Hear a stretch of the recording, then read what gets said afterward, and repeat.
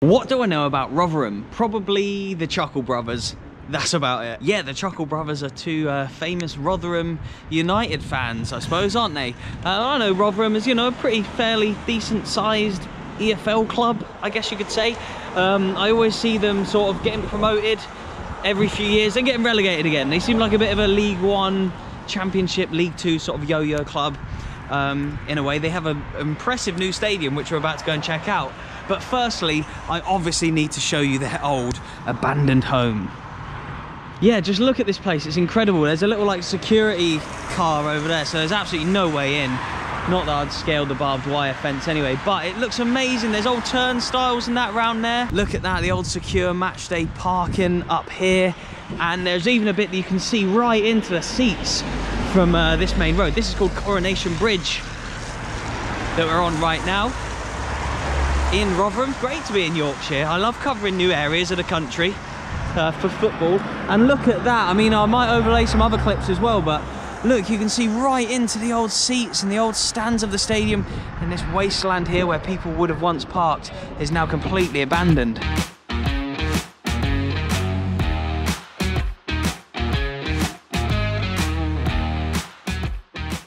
Look, there's even like the turnstiles down there and what would have maybe been like a little club shop or a little ticket office down there as well.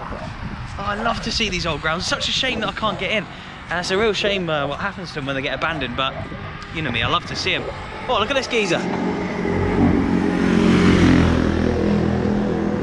Wheeling around the streets. Oh, look, there's a Union Berlin sticker right there doing wheelies around the streets of Millmoor. That's what their old stadium was called. Let me just wipe the lens off the GoPro here. I actually quite like when the weather's a bit grim for my um, abandoned stadium vids. It adds to the atmosphere of the videos, I think. But this place was called Millmoor, and that little uh, little room there, the Rotherham United suite, open on match days, for available for private functions, but obviously not anymore. If you like the historical side of football like I do, I've said this in videos before, I don't necessarily go to games to watch like the tactics or anything like that. Of course, I love to see goals getting scored, but I like to go and see the towns and the cities and speak to the people and see what the culture's like and the social aspects of the club. And if you, like me, love the history side of football, then please check out today's sponsor, Pundit Games. People are absolutely loving it. There's a thousand questions around 45 minute of playtime and uh, it's really, really easy to set up as well. And you can buy it right now and get a discount using the discount code FOOTYADV.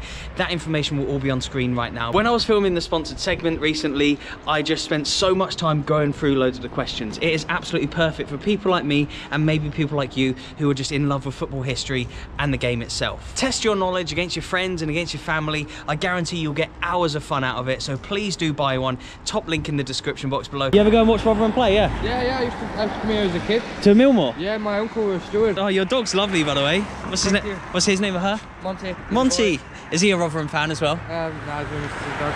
Oh, nice. Okay. So, what was the stadium like here then? Before obviously they moved up the Oh, road. Atmosphere were amazing. Walking Yeah. here, no. Yeah. This was the place to be. Used to be a pub here as well. Oh, right. Yeah. Um, yeah, and that used to be a pub as well. I think it's Tivoli. But it Yeah. Be amazing, amazing. But uh, The old stadiums were the best, weren't they? oh yeah, it's not, it's not, it's not same anymore. It's it's got it's won awards and stuff and everything. This new stadium. Yeah. Okay. It's not like being here. Yeah. Amazing. I bet. Yeah. And so you used to come with your family and watch the games and all that. Yeah. Yeah, well, mainly just my uncle. Yeah. Um, like I say, we were a steward here. I remember having Pukka pie. Oh, Yeah, of course, mate. You can't come to the football and not have a Pukka pie, can you? Yeah, Oh, nice. Oh, Have you not managed to get access inside? Nah, nah. Looks... some people have. Um, I've seen them do videos before inside. um, Yeah. Walking around I'm going to have a little walk around here and see what I can see as well. But here's Monty. Look at him. Here we go. Look at this. Oh yeah. So that's That were hand painted as well. what was that like two Two pound forty. two I pound forty and was that fifteen quid? or Uh, I'm not even sure. I'm not. Can't even see anymore. Yeah. Oh, so this is where maybe you'd have come in down this side, did you? Uh, or- I'm, I'm not sure if this was away or home. I can't remember. I actually can't remember. It's been yeah. a long time. Yeah, yeah. Been a long time. And so the Chuckle Brothers support Rotherham, right? Um, they, I think they're local. Like, I think they they are Yeah. from round here. To Yeah. be quite honest. Um, but one of them, one of them passed away not long ago. That's right. Yeah, yeah. Uh, and they had a procession with the funeral car parked outside New Stadium. Oh, okay. So yeah. There were a lot of fans and stuff there at the time. Yeah. I mean, I grew up watching Chuckle Brothers as well. Of course. Yeah. Likewise. Yeah, yeah, yeah. They're Ro- the Rotherham's most famous celebs, would you say? I've probably from second man. yeah, now after this vid. Um, nah, I've been on TV before. Oh, have you? What for? Uh, I was pissed off on my 18th birthday. nice. uh, yeah, I didn't go down very well. No, really? I bet your mates were loving it, but your mum not so much. I've had some stick for it. Here we go. So there's more of the stadium here. Look as well. Bloody hell! Look at this. I love seeing these old things. It's like weird to imagine that thousands of people would have come here one day, and now look at it. This used to be quite a, an atmosphere on here. What down this little street here? I can imagine it gets tight with a load of fans. This, uh, I think, obviously, back in there, I reckon this might have been a good place for him to meet up. Yeah. know, Oh yeah, for a few scraps and that. Yeah. fight, yeah. You were saying that um, your family wouldn't let your, your uncle, right? Yeah. Wouldn't let you go to Leeds games. Yeah. Too fierce. yeah oh, The rivalry. From what I got told, yeah, growing Yeah. up as a kid, yeah.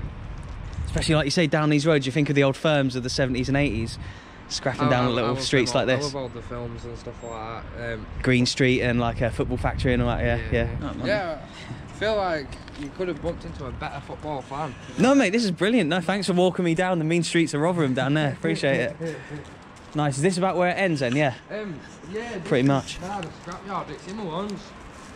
Oh, the The geezer guy- in the scrapyard. Yeah, the owns- guy, owns, so he's Boothy, he owns Yeah. this stadium, well, ground. Was he going to develop it into something else or what? I ain't got a clue. It's been like this for a long time now. How many years has it been like this then? Ten years? It looks. Possibly, yeah. Yeah, possibly. yeah.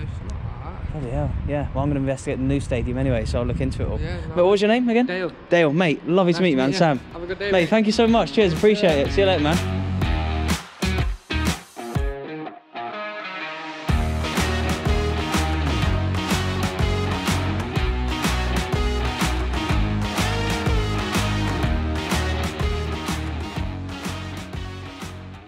What a cool guy he was with his dog Monty as well. Um, yeah, and really appreciate him chatting to me just then. I love when people are so open to uh, to the GoPro and stuff. And I used to be really nervous about like filming around people. Now I just film in the street because you never know like who'll see you and just start coming up to you and like chatting. So um, yeah, I'm a lot more open about it now. But I used to be really embarrassed. I still am. I still feel like such an idiot, and I don't like him uh, vlogging when it's too busy. Obviously, I've got games and stuff, but that stuff takes time. To anyone who wants to start a channel, um, you will get less embarrassed as time goes on, let me tell you. But yeah, I love just chatting to the people of these places where I come. And uh, look, this uh, area of Rotherham here might seem a bit grim and run down to you, which looking at it, I mean, it's an abandoned stadium. It's not going to be beautiful, but to me, it is beautiful. Like to me, these old turnstiles, the old um, ticket prices, the fact that you can like see the seats around there, the fact there's Rotherham badges still, the floodlights are still here. To me, it's history, and to me, it's absolutely incredible. So, right over there is the AESSEAL New York Stadium. Very modern and very new compared to Millmoor, which is literally just across the road. It's a two or three minute drive away from here, is their old abandoned stadium. But essentially, the club's traditional home was called Millmoor, where we've already visited. Um, Rotherham played there from 1907 to 2008, so about 101 years. In January 2010, the club announced that their new stadium um, would be called the S.A. Seal New York Stadium. It would be built on uh, the former Guest and Chrimes Foundry site in Rotherham Town Centre here. And the first game to be played at the stadium was a pre-season friendly between Yorkshire rivals Barnsley, which was held on the 21st of July 2012. The Millers, Rotherham, won 2-1. The first goal in the stadium was scored by Jacob Mellis of Barnsley, before David Noble scored Rotherham's first goal in their new home. And something else that I like to show you guys when I come and do these videos is the like league form over time of the clubs that I'm sort of seeing. And as you can see from Rotherham, they've never been in the top tier, but again, as I said earlier in the video, I always see them as a sort of consistently sort of middle of the road sized sort of EFL club. Look, as you can see, uh, second tier every so often, they'll bounce up and down, and then mainly third tier, but sometimes fourth, as you can see. Look at that, pre-World War II, they were third division.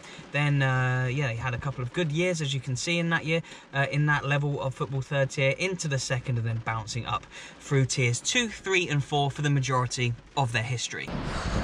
The weather is just horrendous in Yorkshire at the moment. But I have to come out. I can't just give you the facts about Rotherham sitting in the car. I have to at least come out. I have to at least ask in reception if there's some kind of stadium tour available. Here we are now in the New York Stadium. Look at this. The uh, the home of Rotherham, as Dale was saying to us earlier. Wow, look at that. You see right inside. Hang on. Look at that there. Wow. That says MI. I'm guessing that says Millers, which is their uh, nickname. Rotherham, as you can see there, that's kind of like a mill uh, with a football there. As you can see, that, that mill um, thing would have turned over time and that is why they're called the Millers. That does say M-I-L, I can see. So yeah, we'll say Millers across the seats. The nickname of this uh, really cool football club. Yeah, as Dale was saying, I think he was saying that the stadium has won awards. Not the old one. I think, oh actually, look, you can see the floodlights of the old stadium through there. For all the industrial stuff and over the road and that, you can actually see the, uh, yeah, the stadium floodlights, the old stadium floodlights.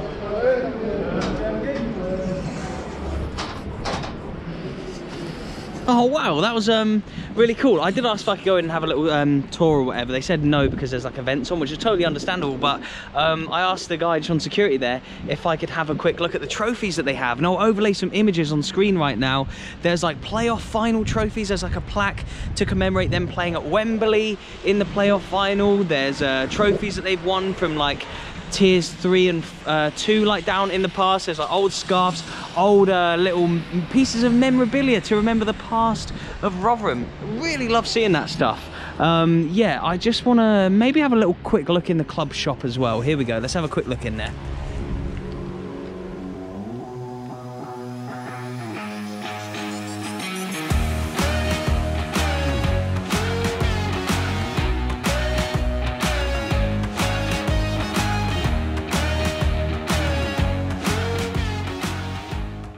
Incidentally, Rotherham's next game is the uh, EFL Trophy Final. The Papa John's Trophy or the Johnstone's Paint Trophy or the LDV Vans Trophy. That is in, uh, that's this weekend actually coming up against Sutton United. So um, yeah, big uh, big final for them coming up at Wembley. Rotherham's biggest achievement to date has been the League Cup final that they reached in 1961. The first leg was played at Millmoor where we went earlier. That place has hosted a League Cup final back in the day when it was two-legged, the final. They won that leg 2-0 at home, then they went to Villa Park and lost 3-0. So they won 2-0, leg one at home at Millmoor, then sadly lost 3-2.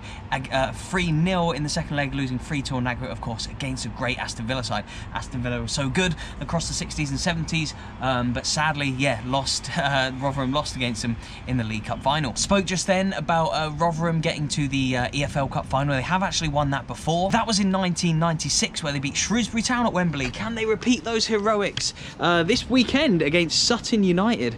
I really hope they can now that I've visited Rotherham. I hope they can go and do it against uh, against Sutton United. Sorry, Sutton fans.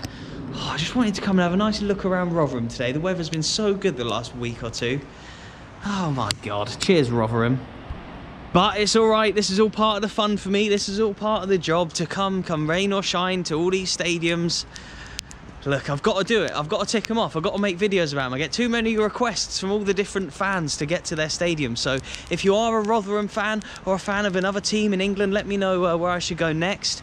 And uh, especially, yeah, in Yorkshire, I'm absolutely loving it here right now.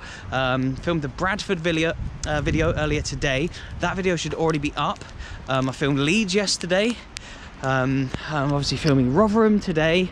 I don't know what I'm going to do tomorrow. I think I'm heading back up to Scotland tomorrow, but I'm always open to keep coming back to these places. I've only just scratched the surface of Yorkshire. I had a couple of free days, so I thought I'd come down, do some abandoned stadium videos, which I absolutely love. Please, please check out Pundit Games. They're really supporting the channel in uh, in sponsoring these videos and they really do help to keep the channel going. And if you could purchase one and use that code FootyADV then they'll know that the sales are coming through these videos. If you could remember to hit that like button and subscribe if you're new that would be tremendous. I love coming to see these new stadiums. It is what my life is all about even if it absolutely pisses with rain. I'll leave some videos on screen. Please do click on one to carry on watching. Cheers and i'll see you in the next one. Let's hope it's a bit sunnier